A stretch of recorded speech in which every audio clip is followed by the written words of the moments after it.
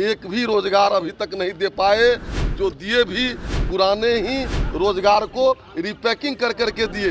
ये सरकार के कारण ऐसा हो रहा है, के के पाठक ऐसे पदाधिकारी जो बिहारियों को गाली भी दिया था, और आज शिक्षक को सैतने के लिए मुख्यमंत्री जी उसको रखे हुए हैं।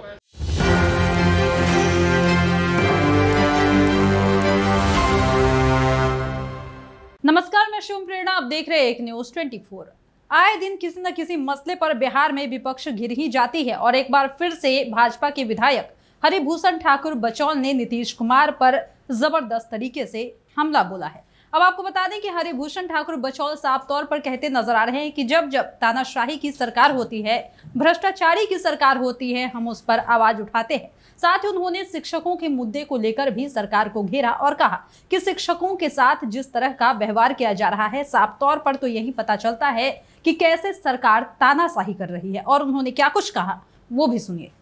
जब भी जुलमी और तानाशाही सरकार रहा है, विपक्ष उस पर हमला किया है। निरंकुश सत्ता पक्ष को अंकुश देकर विपक्ष आज मार्च निकाल रहा है। आप देखेंगे कि पहली कैबिनेट में 10 लाख की बात ये लोग करते थे रोज़गार की।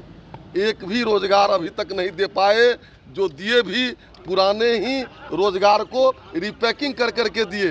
भ्रष्टाचार की स्थिति आप पंचायत से लेकर सचिवालय तक देखेंगे तो आकंठ सब लोग भ्रष्टाचार में डूबे हुए हैं। किसानों की समा समस्या है साथ ही शिक्षकों की समस्या है शिक्षक अभ्यर्थियों की समस्या है। इन सारे सवालों को लेकर भारतीय जनता पार्टी आज रचनात्मक विपक्ष की भूमिका सदन में भी निभाएगी और सड़क में भी हम विरोध प्रदर्शन करेंगे विधानसभा मार्च करेंगे।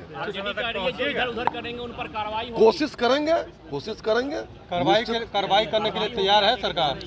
कार्रवाई से डरते तो राजनीति में नहीं आते। हम लोग मुलायम सिंह जी कहते कि परिंदा भी पर नहीं मार सकता है अयोध्या में। क्या हुआ सबके सामने है। लेकिन हम लोग लोकतांत्रिक तरीके से प्रदर्शन करेंगे। वहाँ क्या परिस्थिति बनती है उस हिसाब से फिर रणनीति बनाएगा डरने के आप लोग डरेंगे नहीं। डरने वाला राजनीति करता है।